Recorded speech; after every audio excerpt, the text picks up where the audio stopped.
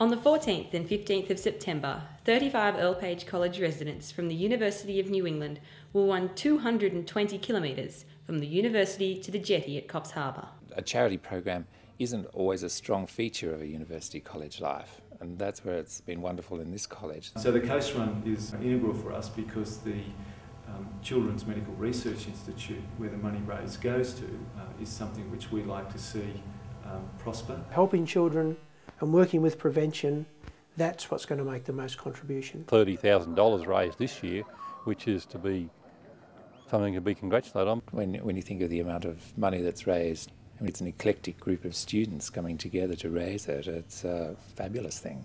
There's a few things that I think are big about this. The tradition is one of them that's been going for 28 years. Started off in tents. Originally we used cars. When we started, we you know, were raising around the thousand dollar mark. Now the Coast Run has really become an enterprise. Not just the Coast Run, but we've got the fashion parade, we've got the auction. That's usually our biggest revenue maker, but uh, discount card's are going to be hard to beat this year. In the interim of the fashion parade, I actually have organised for a couple of items to be sold just a little precursor to the big event. It's going to be so much fun. We also have Coast Run Cup and inter-college events. As part of the fundraising, an annual fashion parade is held in which students model clothes borrowed from local fashion outlets. It's four days away now and there's still a lot to do. I've got 90 models. So coordinating all of them, just getting them all in the one spot, getting them all fitted even, like it's hard to run around after all of them. I've got to do all the programs tonight, I've got to sit down and sort out all the tickets. Tomorrow we're setting up all day and then on Saturday we're having all the model rehearsals, so it's going to be really full on. I just wanted to be a part of something that has a really huge reputation. You're up there and doing it and running around backstage getting dressed and it's just all very exciting. The fashion parade is not all that's exciting. The run's the most rewarding part. Apart from the 5.30 starts I think should be pretty good. It's a good time just to show your fitness and see what you're really made of. I'm really looking forward to being in the Dream Team. The Dream Team consists of six runners who start before the main group of runners. They run 5 kilometre legs in pairs before resting, then getting out and doing it again until the other group catches up.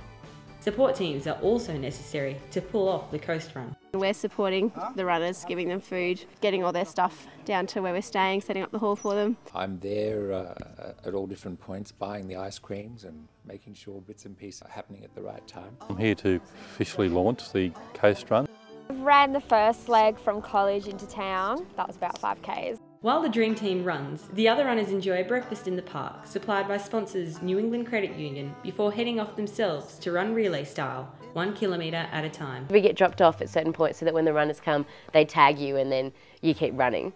Out here waiting for our leg to start. We'll probably be here for another 20 minutes. It was really invigorating and painful at the same time. and Invigorating my um, that was the worst leg of ever running Coast Run. Physical pain is prevalent. There's been no real incidents, so it's good. We had a couple of people roll their ankles. Oh, just running along the road and bitumen dropped off a bit, bit of a sharp edge, and I wasn't looking where my feeding was going, and I slipped and jarred my ankle. Got a groin strain on Monday, so I'm sort of wondering how will I go.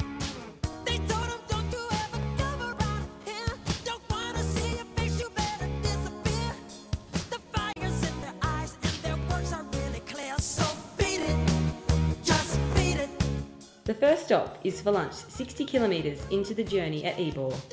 As the students eat and rest up, a group of eight runners head on. I am doing pressure sprints. I am doing pressure sprints. The sprinters run legs of 200 metres for the 10 kilometres from Ebor to the turn off to Dorrigo. Pressure sprints. That was heaps of fun.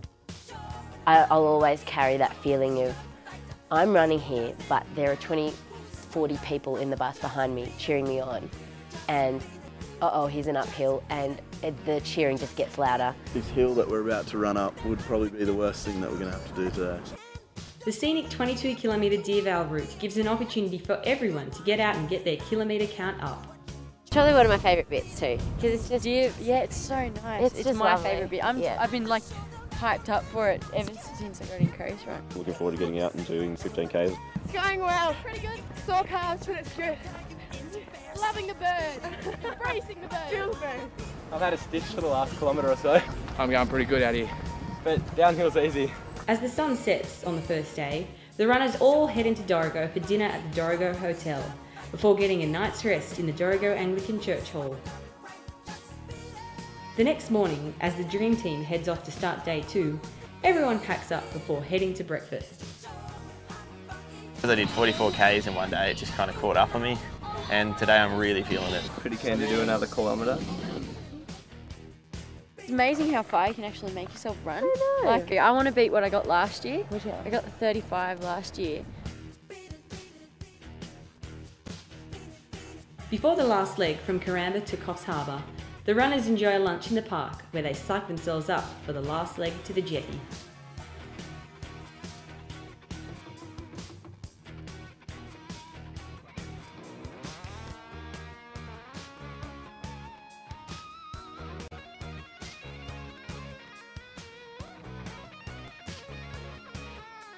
Thing. I think the most rewarding thing is just knowing that you've touched the end of the jetty and that all the money's there and it's going to the worthy cause and, and you've done all you could throughout the year. The best thing about finishing Coast Run is hanging out with your mates at the end, having some drinks at the jetty and uh, going for a swim. This is the third time I've welcomed the runners and I'm very enthusiastic. I think we've proved that we have come together as a team and it's been successful with the amount of money that we've raised. It's been a great two days and, and we've raised a lot of money. We support a number of different initiatives, but this sort of thing's great. It's uh, just very positive for the whole community. You tend to bond more when you're all going through stressful conditions. And you get to know people that you've not known before. The fact that it was for a really good cause really helps and makes everyone less grumpy when they're injured or they got really sore feet or they got sore back. And to be put in that situation with all these people really just strengthened I don't know what it was between us, but we all came out feeling like a real team. Everyone was helping everyone else. So, you know, you just feel a tap on the shoulder and you're like, oh yeah, okay, I'll keep going with you. And then you're running and you're running and someone else is struggling and you're like, no, come on, come with us. Camaraderie that's shown between the students is probably the main thing, you know, the thing that brings the students all together. They're all dedicated to the one cause. We all have the capability to make the world a better place. Raising money for Children's Medical Research Institute's one of the best things I've done with my life. My favourite aspect of college life is the run, the two days. It's amazing. It's tiring, but it's so worth it. The best thing is you're saving lives. That was one of the best things I've ever done.